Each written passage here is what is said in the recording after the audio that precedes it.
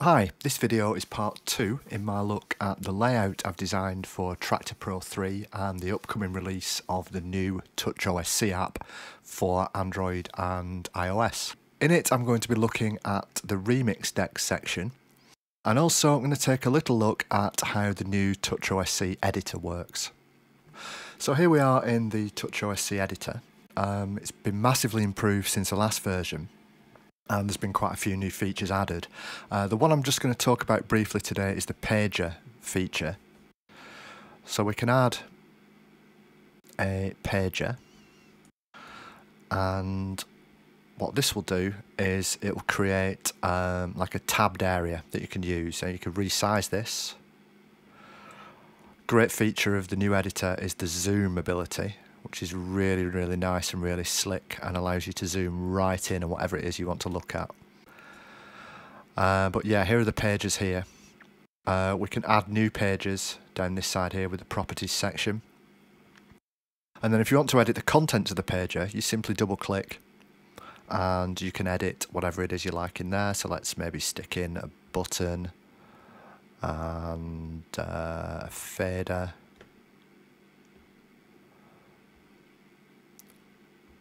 If we go back out, you see the button and the fader are added. Sorry, it's a red background on both. Um, let's just change that.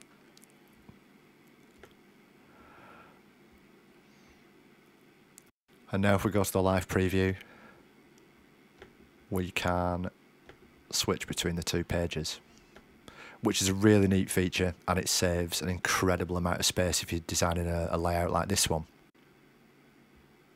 And I've used these uh, pages quite extensively um, throughout the layout I've made. Uh, which has been great because it's saved on an awful lot of screen space and it means you don't do as much hard work in Traktor with the actual mapping itself so you don't need to use as many modifiers you can just basically create new buttons. So let's have a look now at the remix deck section. Okay so here we are in Traktor. Um, I've minimised deck A and deck B so we can just look at these remix decks here on deck C and deck D and my iPad screen is streaming directly to my computer. Um, my mouse is connected to my iPad so that you can see what I'm actually doing on the iPad screen here as well. So if you saw the last video, you'd see that we've got uh, these main controls here to switch between deck A and deck C and deck B and deck D. So we're going to be looking at deck C and deck D today, which are the remix decks. This is split again here into remix deck. So you've got this remix deck area, and then you've got an area here for the step sequencer. Well, let's look at the remix deck first. Um, first of all, we've got load controls. So this is obviously for loading sets and samples.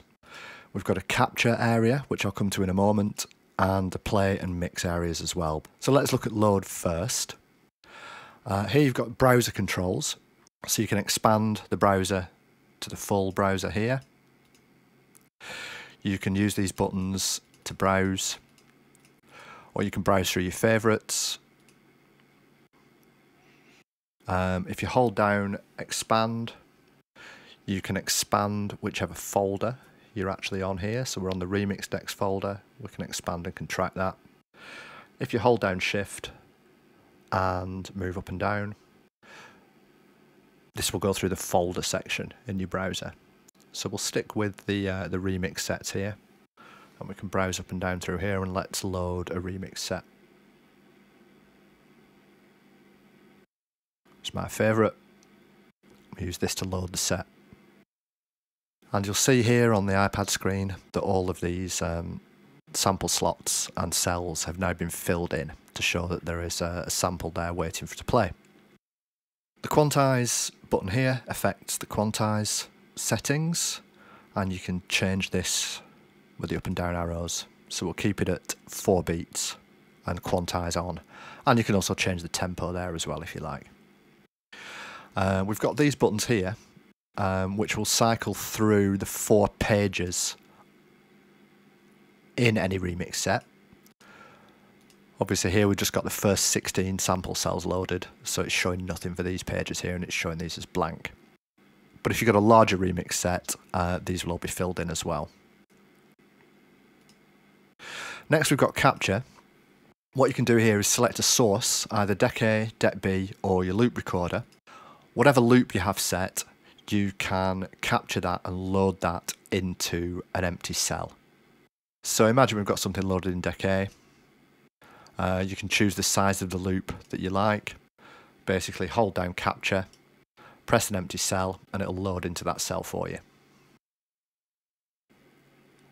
I'll come to play last, but mix, we've got full control here over each sample slot's volume level and the filter level here as well. These Q buttons are universal throughout all of these tabs here.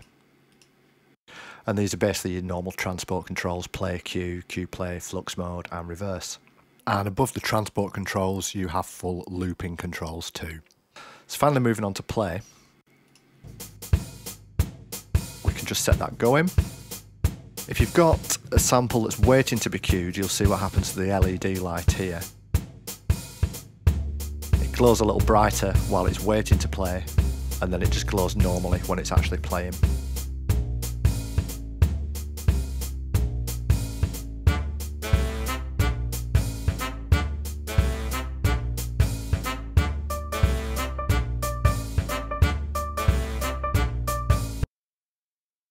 So we have mute buttons here, which will mute each of the four slots. We also have loop and hold controls.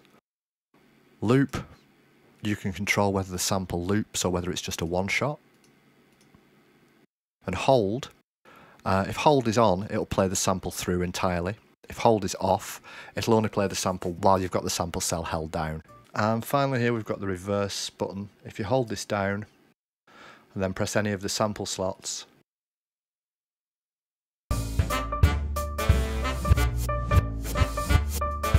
it'll reverse it.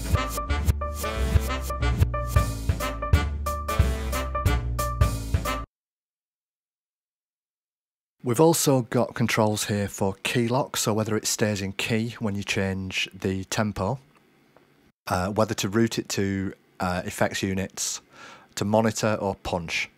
And you can turn any of these on or off by holding down shift and pressing the corresponding sample cell. So here we've got key lock on just in slot 1, we've got FX routed just in slot 2, etc. So finally we've got the step sequencer. What we'll do first, let's just load a set of samples in. And I'm just using the stock ones that come with Traktor. And we'll go with step sequencer essential drums. Ah, one thing I forgot to mention here. You can either load an actual complete set, or if you've got a list of samples here in Traktor, um, you can hold that down and press an empty cell, and it'll load that single sample into a cell for you. Uh, same with delete. If you hold down delete, you can delete individual cells. If you hold down shift and press delete, it'll unload the whole set. And if you hold down shift and press save, that'll save the remix set for you. So we've loaded in this sample set here, which is all uh, just drums. So let's switch to step sequencer. We'll turn this on and play it. As you can see, it's counting through the steps here on the step sequencer. You've got four slots that you can use, one, two, three, and four. One is typically the kick.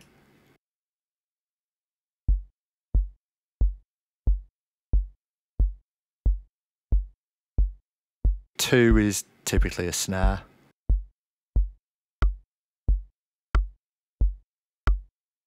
Three is usually hi-hats. And four is generally percussion.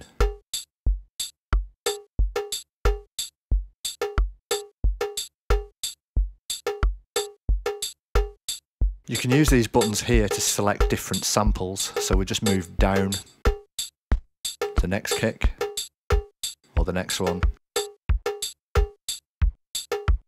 And you can go right down through the whole sample set as well. let's stick with that first one. But yeah, you can do the same with the snare.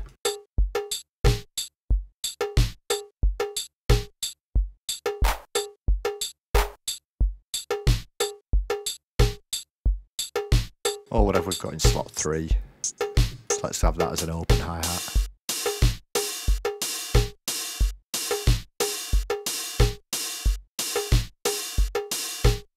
Uh, let's just stick a couple more of these in so I can demonstrate the swing. We've also got swing here.